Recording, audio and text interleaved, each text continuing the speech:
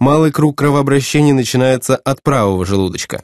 В этот желудочек поступает венозная кровь из правого предсердия. Из правого желудочка венозная кровь выбрасывается в легочный ствол, который делится на правую и левую легочные артерии, входящие в легкие. В легких артерии образуют густую сеть капилляров. В этих капиллярах происходит газообмен. Кровь насыщается кислородом и освобождается от углекислого газа. Из венозной кровь превращается в артериальную, насыщенную кислородом.